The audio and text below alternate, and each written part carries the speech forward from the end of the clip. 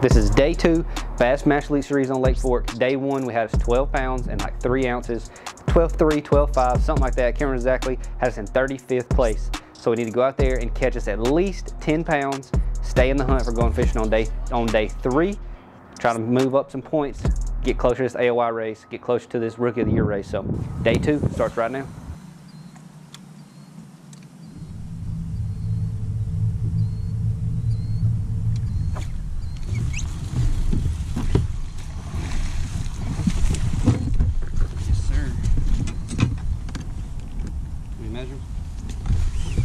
You see,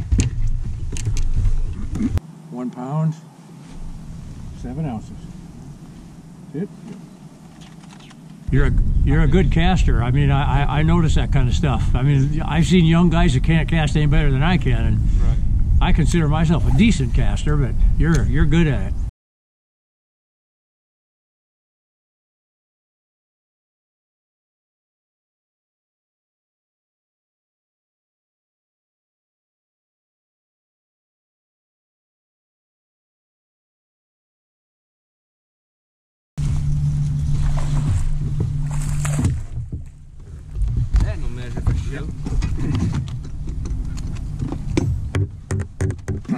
15 right there. Okay.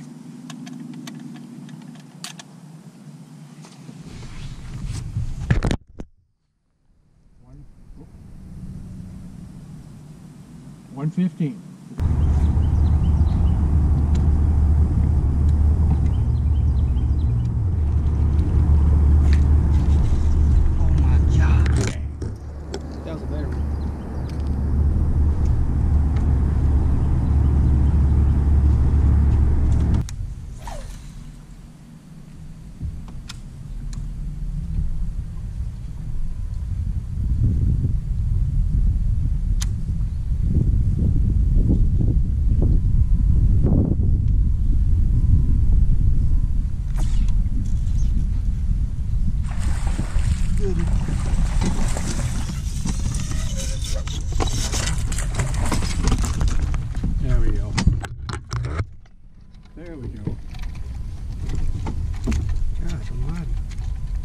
Two pounds, two ounces.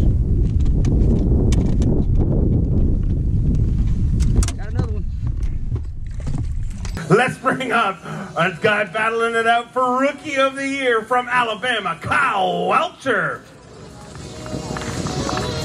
Five pounds, eight ounces today, giving you 17 11, and uh, unfortunately going to fall outside of the weekend cut this time around. Which uh, the good news is that's not a spot you're accustomed to being in.